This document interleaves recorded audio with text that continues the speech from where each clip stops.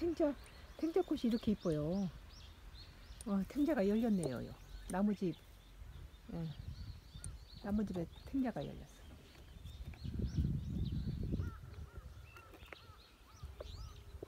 탱자가 열렸죠? 어. 이 탱자꽃이 엄청 이뻐요. 향기도 좋고. 음. 이제 우리 밭에는 저기 유자나무 두 개 있고 여기는 이제 봄동이 꽃이 피어가지고 노랗게 꽃이 피어 있고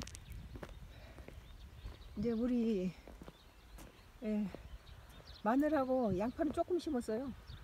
우리 먹을 것만 조금 심었고 양파하고 우리 1년 먹을 것만 심었어요. 어. 그좀 적게 나올 때는 자식도 못 줘요. 우리 먹을 것만 심을, 심을 때는 자식도 못 주고 그냥 우리만 먹어요. 좀 넉- 넉넉히 심는 자식도 주고 이웃도 나눠 먹고 그러죠. 아. 이놈들이 다 어디로 갔나? 우리 염소들이 아랫밭에 없네. 저 밑에 밭. 이제 이, 이 염소들 초지인데 이것도 이제 가, 다 해서 깨 심을 거예요. 여기는 이제 파서 깨를 심어야 돼요.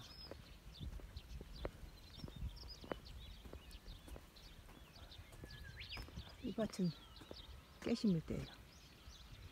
어, 양파하고 마늘 뽑고 난 다음에 여기는 전체는 깨 심어서 예, 참기름도 짜고 그래야죠.